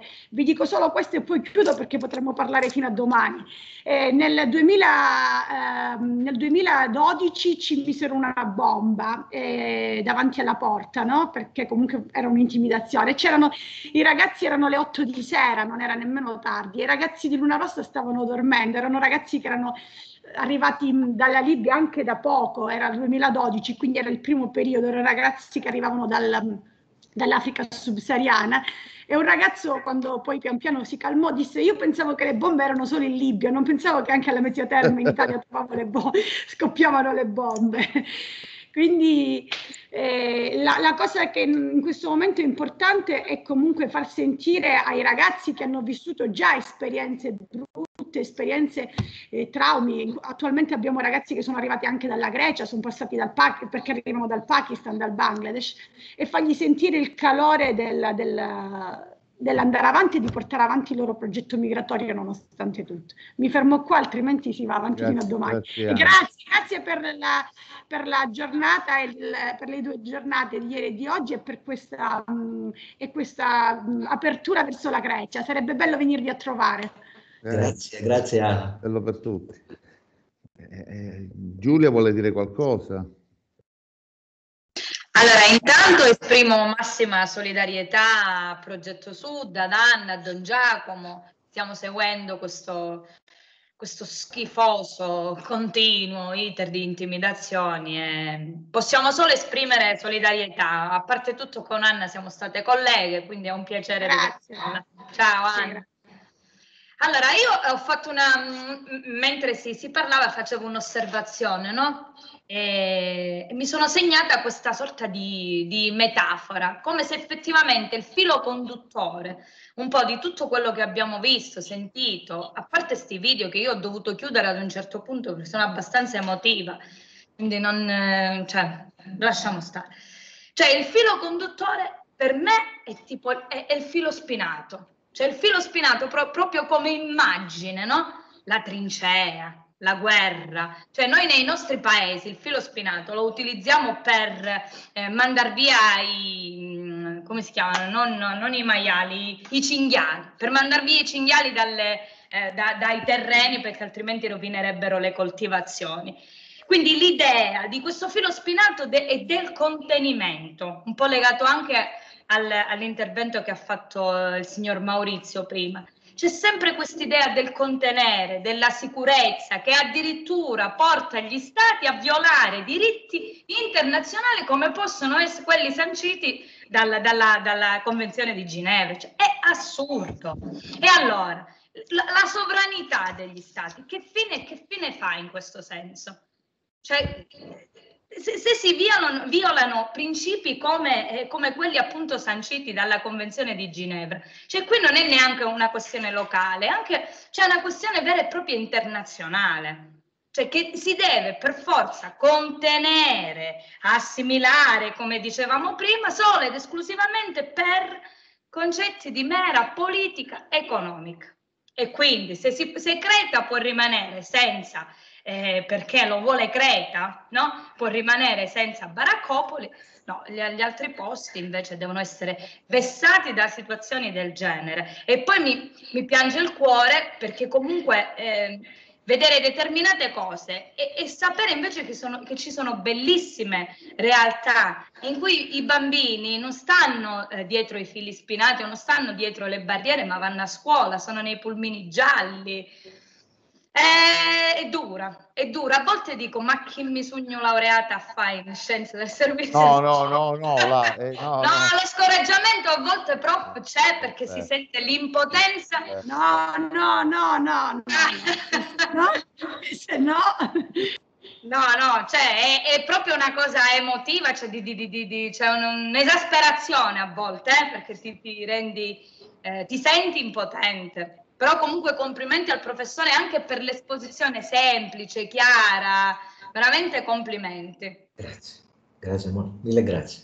Eh, adesso c'è, c'è, Griselda, Griselda Docca che, che vuole dirci qualcosa. Sì, salve, buongiorno, si sente? Perfettamente, vai. Ok. Eh, no, consentitemi soltanto, diciamo, un po' di partecipazione emotiva personale eh, nel senso personalmente è, è davvero mh, ho apprezzato tantissimo la lezione, le ore che abbiamo passato insieme. Eh, perché è stato attraverso l'esposizione, ecco, il professore ha fatto parlare semplicemente i fatti e poi eh, eh, il, il, filo conduttore dei ragionamenti e tutto. Quindi è, è qualcosa di veramente eh, apprezzabile. E poi eh, sono coinvolta emotivamente anche perché diciamo l'80% della mia famiglia sono immigrati in Grecia. io sono albanese, quindi eh, conosco un po' attraverso no, le narrazioni, sono proprio cresciuta, io ho conosciuto l'Europa attraverso la Grecia. Ecco, però eh, nella, nella, seconda, chiamiamola così, generazione della mia famiglia, la mia scelta poi fu l'Italia, per ragioni ecco, dell'immaginario che si è creato poi dell'accoglienza in Grecia e così via, perché l'altro ramo della famiglia che invece ha immigrato in Italia ha avuto un'integrazione un po' più, più veloce, più, quindi acconsente anche la mia connazionale, credo, ma insomma, ecco, noi come Balcani eh, siamo, siamo, stati storicamente un po' così, amici e nemici da, da, da una vita. E, e, e, quindi conosciamo ecco, anche l'altro lato della, della medaglia.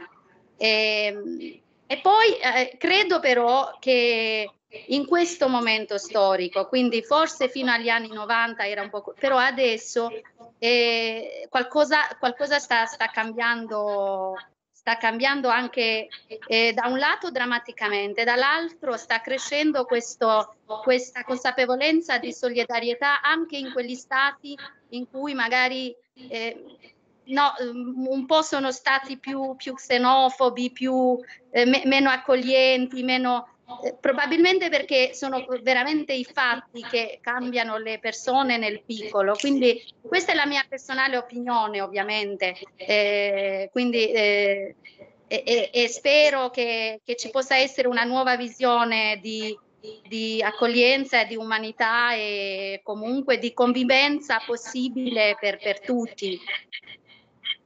Va bene, grazie. C'è qualcun altro, per esempio qualcuno che lavora nei servizi, che nelle istituzioni che vuole intervenire, magari per dare una, una visione un pochino più, un punto di vista diverso, se c'è sempre, se ha voglia di intervenire. Nessuno? No, vabbè, allora, come dire, io voglio provare a dire una cosa, poi passerò di nuovo la parola ad Elisabetta e poi magari Nikos conclude perché te, bisogna tenere presente che da lui sono già le due, quindi... No, no, va bene, tutto a posto. come dire, è, è, è, è, un orario, è, un orario, è un orario critico. Io volevo dire soltanto una cosa, ma veramente una battuta, cioè noi come Europa, perché la, la colpa, eh, la responsabilità è anche nostra, quando abbiamo rifiutato il prestito alla Grecia, erano 10 miliardi di euro. Abbiamo regalato ad Erdogan un macellaio, un criminale macellaio, 6 miliardi di euro e altrettanti ne abbiamo versati in, in Libia. Questo qui è vero che non è vero quindi che il, il denaro non ha odore. Il denaro ha odore e soprattutto al colore del sangue di tutte le persone che muoiono giorno per giorno in quei 10 chilometri di mare, perché sembra sembra veramente una gita che si fa in barca, ma se uno la prova a fare con le motovedette non è più una gita in barca. E invece per noi, noi occidentali, noi Europa, quella che adesso viene piegata dal, dal, dal, dal, dal virus, abbiamo rifiutato alla Grecia e noi siamo debitori come cultura, come, come, come, come radici, no? non, non, non esisteremmo senza la Grecia, abbiamo rifiutato e abbiamo costretto un popolo intero questo ver- veramente è toccante, no? quando sentivo, perché poi c'erano tutti i resoconti che arrivavano, dell'università che chiudevano, i panepistemi, panepistemi si dice università, l'insieme di tutte le conoscenze che erano costrette a chiudere perché noi negavamo i soldi. Cioè una cosa veramente, veramente vergognosa. Adesso invito, invito Elisabetta ad aggiungere qualcosa e poi Nico sa concludere se vuole. Eh, io volevo ritornare su un, su un, aspetto che Nikos aveva sollevato, che era quello per cui eh, a un certo punto il governo greco toglie il Ministero del Lavoro, se non sbaglio, eh, una, toglie l'assistenza sanitaria, no? l'accesso all'assistenza sanitaria. Questo per evidenziare cosa? Eh, per evidenziare che in realtà eh, se si punta solo il dito sull'Europa si fa ma non abbastanza. Eh, ci sono responsabilità dei governi, non solo a livello nazionale ma anche a livello regionale eh, e addirittura eh, mi inoltrerei fino ai comuni, alle realtà locali. Eh, io ho studiato il piano nazionale asilo quando ancora si chiamava piano nazionale asilo, eh, eravamo nei primi anni del 2000, c'erano delle forti lacune, quindi anche il nostro modo di accogliere risente di, questo, di questi di enormi pregiudizi, della volontà di non voler eh, poi realmente fare eh, l'accoglienza per come deve essere. Solo un esempio, cioè allora nel piano nazionale asilo era previsto l'inserimento, quello che veniva definito inserimento socio-economico. Potete capire, eh, ho girato tra Sicilia, Puglia, Calabria, eh, l'inserimento socio-economico dei, dei, richiedenti asilo e dei rifugiati eh, veramente non si poteva parlare, però nel piano era previsto anche questo. Oppure che dirvi, eh, mi sono ritrovata in un'estate caldissima sulla pista di atterraggio di Bali Palese, che era diventato uno dei luoghi, appunto, dei recinti in cui venivano ammassati eh, i pro profughi. E, e lì eh, eh, c'era la, la, Croce Rossa, eccetera, dovevano appunto eh, decidere chi poteva presentare le domande per il permesso, per, per la richiesta d'asilo.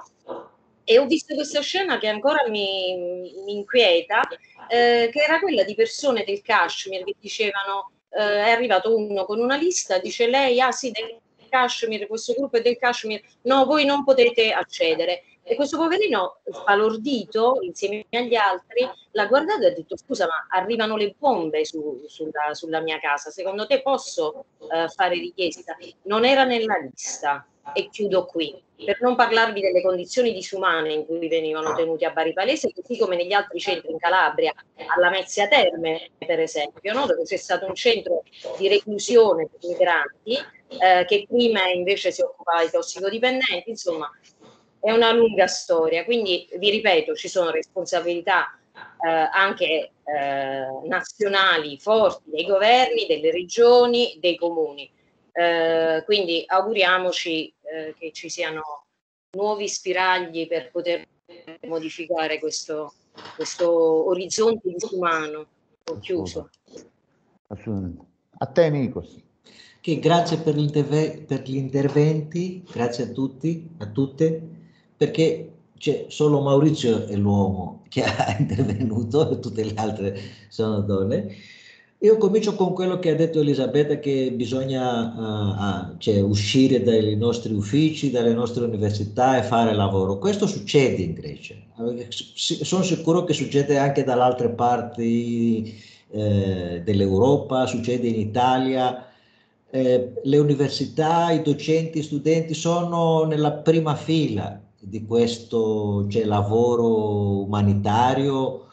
Eh, l'abbiamo visto all'Università di Egeo, che praticamente il movimento studentesco lì si è, eh, è stato c'è una, una, una, una, grande eh, forza a sostenere la gente che veniva, ma anche c'è un, un osservatorio. Un, un osservatorio lo potete trovare eh, sull'internet eh, un osservatorio che da, dal, dal 2015 eh, registra tutto, eh, potete vedere tantissime pubblicazioni in inglese eh, di gente che va, a, viene a, a, a Metilini, a Lesbos per fare ricerca, eh, e per essere attivo, gente che essere attiva uh, nella, nei sforzi dei, dei locali eh, per affrontare questa situazione. Poi quello che ha detto Maurizio, ah, sicuramente sono d'accordo, è, la, è la, questione politica è quella che eh, più importante in questa situazione, le decisioni che si prendono eh, che prendono le elite politiche insieme alle elite economiche mondiali e questa situazione, lo sappiamo bene, eh, non può essere cambiata da un giorno all'altro. Eh, speriamo che, cioè, che, la gente spingerà per, altri, eh, per altre politiche, non solo sulla questione della migrazione, ma anche sulla questione della, della povertà, de, eh, della gente che perde il lavoro, della gente che non, non ha uh, soldi per, eh, eh, per, nutrire i bambini e mandarli alla scuola senza avere lo stigma del povero, la, la stigmatizzazione eh, eh, che è, povero. Ma, ma per, com, cosa fanno i governi negli ultimi 40 anni? cominciando dagli USA, dalle, eh, dagli Stati Uniti, proprio con, uh, con Nixon e con Reagan, ha, ha, ha cominciato questo discorso eh, sulla sicurezza. Eh, ho visto un, un, un video sul, su Netflix, un documentario, un, un documentario sulla, sulla piattaforma Netflix eh, che fa questo discorso sulla questione eh, delle, eh, della stigmatizzazione della, della popolazione, afroamer- popolazione afroamericana eh, negli Stati Uniti dagli anni 70 fino ad oggi, eh, il sovraffollamento delle strutture eh, di galera eh, che praticamente non sono pubbliche, sono privatizzate.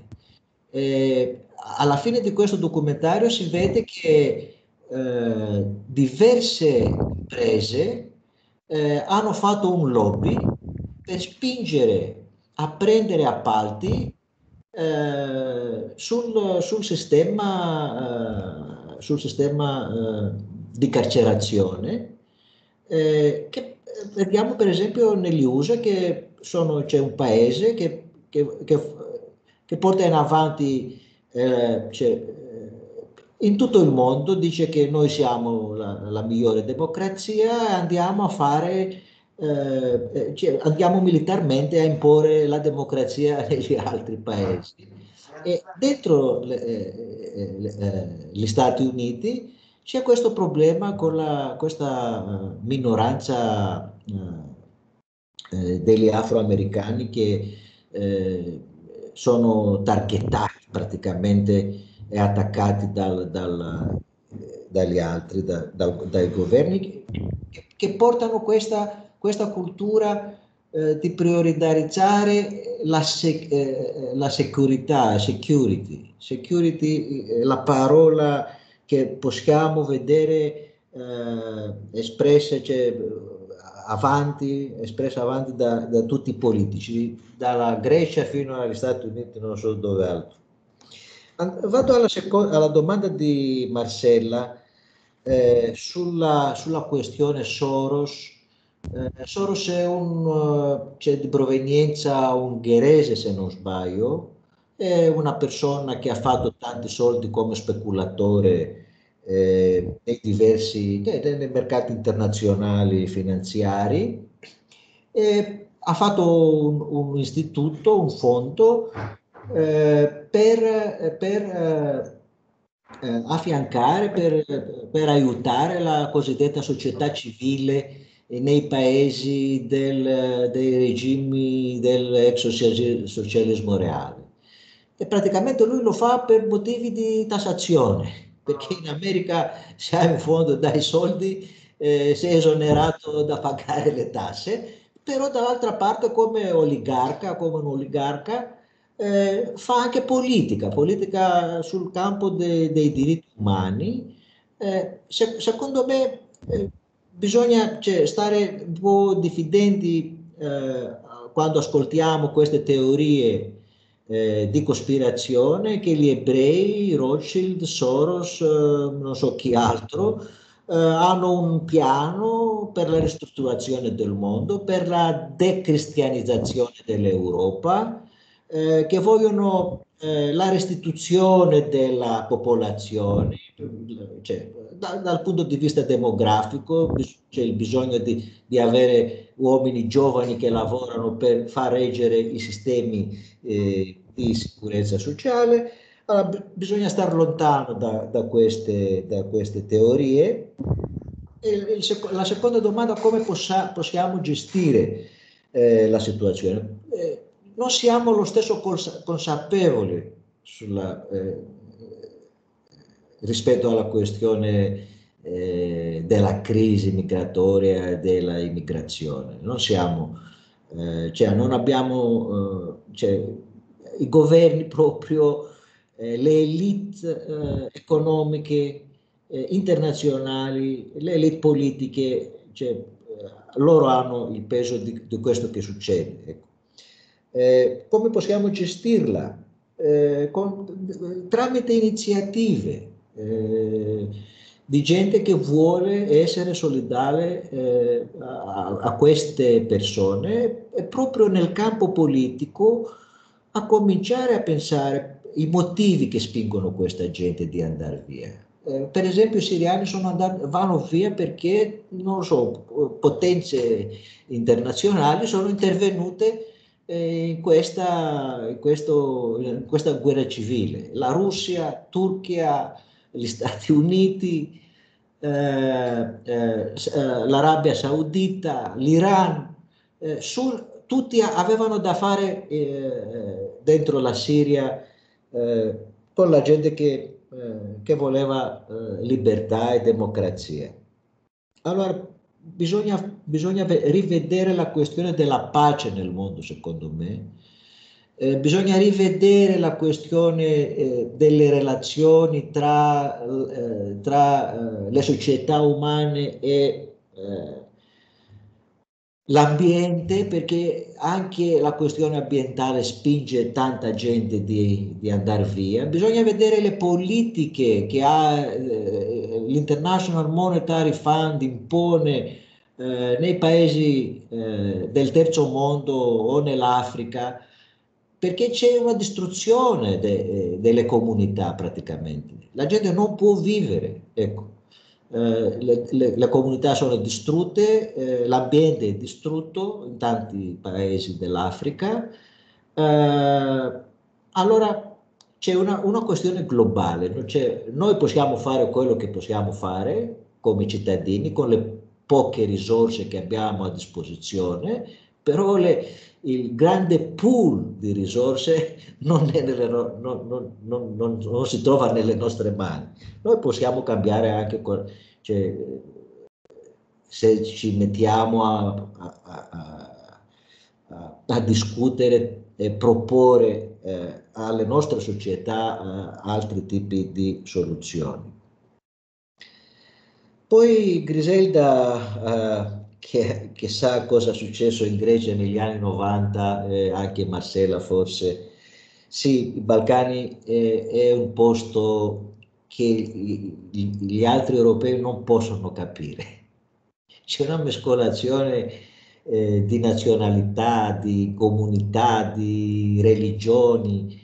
Eh, eh, questo che chiamate voi in Italia quando andate al ristorante la Macedonia, eh, avete, avete, pensato perché la chiamate Macedonia? Sono tutti frutti, tutti frutti.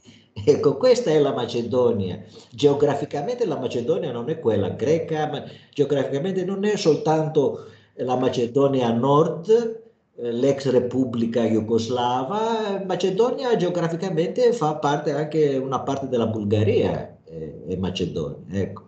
Allora i Balcani è una, una, una, grande questione, per questo ho menzionato ieri le, le due guerre, eh, che praticamente abbiamo da tutte le parti spazzature, come, come l'ha detto Marcella, spazzature nazionali, national cleansing. Eh?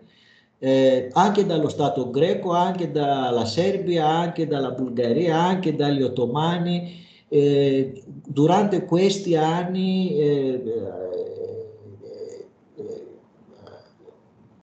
le, arm- le, cioè, le, forze armate eh, distruggevano, bruciavano, uccidevano gente per pulire, ecco, per, per omogeneizzare eh, il popolo che eh, restava sul territorio. Ecco, una, una, una storia triste. Eh, l'altra, l'altra, parte di questa storia è la, che, che, che, questi popoli stanno comunicando tra di loro. Cioè abbiamo le stesse, le stesse abitudini, beviamo lo stesso caffè, il caffè turco, eh, la musica, eh, tutti questi eh, trasferimenti di, di anche nelle, nelle, nelle, nelle nostre lingue c'è, c'è, una mescolazione, ecco, c'è una, una grande comunità. Cioè, quando sono stato uh, l'anno scorso a Costantinopolis, eh, mi sentivo al, al posto mio, non, non, tutte le volte, quando vedevo le grandi bandiere turche dappertutto o le donne cioè, col viso eh, coperto, cioè, mi sentivo un po' in difficoltà, però praticamente eh, condividiamo eh, eh, eh, tanti, tante, tante, eh, tante, cose tra di noi. Ok, quello che ha detto Walter, l'ho detto anch'io, che le risorse economiche ci sono, però do, dove vanno versate queste risorse economiche? Questa, questa è l'interrogazione. Eh, eh, purtroppo... Forse la pandemia ci aiuta però. Sì. La pandemia ci aiuta perché poi non, non hanno più la scusa che non ci sono soldi, arrivano soldi dappertutto. Dovrebbero arrivare, comunque c'è la disponibilità, ma vediamo. Il, il caso, il, il caso greco è emblematico. Abbiamo stipulato questi memorandum di austerità, di politiche di austerità, quando eh, il, eh, il PIL greco era al 120%, eh, cioè il debito era al 120% del PIL greco e adesso siamo al, al 200%. Eh? Non ci sono problemi con i mercati, i Esatto. mercati ci danno è una cosa che non- nessuno può spiegare. Cioè, Eh, professor- professore, una cosa, approfitto io per dire una cosa su questo, perché nella prima fase la Banca Centrale Europea aveva questa regola per cui non poteva acquistare i titoli dei paesi che avevano un rating troppo basso e quindi la Grecia paradossalmente rimase fuori dal primo programma di acquisti. Per quando serviva acquistare, i titoli greci non erano acquistabili. E fortunatamente adesso invece, come diceva pure Walter, eh, questa regola è stata rimossa recentissimamente Sì, dalla Lagarde. Ha ragione Salvatore, questo lo e quindi adesso possono acquistare tutto quello che vogliono perché non c'è più questa Allora, regola eh, eh, incredibile che ha negato proprio alla Grecia i fondi. Nel 2010 era una decisione politica eh, proveniente da Merkel e Schäuble eh, per fare la Grecia un paradigma de- di cosa succede nei cattivi studenti. Sì, sì, sì, Esatto. sì. Una- perché c'è, non so se quanti magari tra gli studenti non lo, non lo sanno, e esiste nei trattati questa clausola di non salvataggio. Cioè, per dire, uno, non, non è possibile salvare un paese in caso di fallimento, nessuno può intervenire. E quindi ancora noi, nonostante che gli strumenti stanno cambiando per via della pandemia, noi abbiamo ancora questo vincolo che esiste nei trattati e andrà modificato da 27 paesi, che è una cosa piuttosto difficile perché i trattati si modificano solo unanimemente. punirne uno per educarne cento. Eh, quindi questo rimane, purtroppo sono vincoli che rimangono, anche se è cambiato molto, ma ancora siamo fermi su questo. Ok, Benissimo. Grazie, grazie Salvatore, anche per l'aiuto e tutta cioè, la Eh, gra- grazie a voi, via professore. È mail. stato- è stata una, un- una ventata di umanità, diciamo, questi due Ok. giorni che ci ha Ok. travolto, diciamo. Ok. Benissimo. Dici? io vi ringrazio e vi lascio. Grazie voi. Buo- buona vita, professore. E buon Anche appetito a lei, anche a lei. Nikos, io, eh, come dire, anche a nome di tutti quanti, insomma, ti ringraziamo veramente per, per la cortesia, per la, splendida disponibilità. Mi- mi- come dire, mi, sono ancora una volta di più triste per il fatto di non poter essere stati in presenza, ma come ti dicevo, probabilmente speriamo, insomma, vediamo se esiste la possibilità di, di rimediare, di rimediare tutto ciò. Eh, Spero che ci rivedremo presto, eh, Walter, Elisabetta e tutti gli altri siete benvenuti. Ah, Se venite a Creta, se venite a Rethymnon, chiedete il mio telefono da Walter e facciamo delle belle serate e giornate insieme. Perfetto, Se perfetto. venite con le vostre famiglie, eh, sono a vostra disposizione per Ah. qualsiasi cosa che volete. Nikos è una, una persona eh, veramente eccezionale, veramente eccezionale. Sono come tutti gli altri. Ok.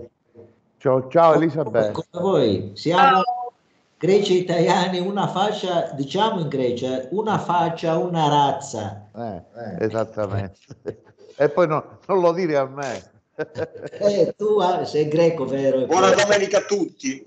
Ciao, ciao. presto. buona Ciao Nico. Arrivederci. Buona Elisabetta. Grazie, grazie. Grazie. Arrivederci. Arrivederci a tutti. E Arrivederci a dopo, tutti. Sì, sì. Va bene.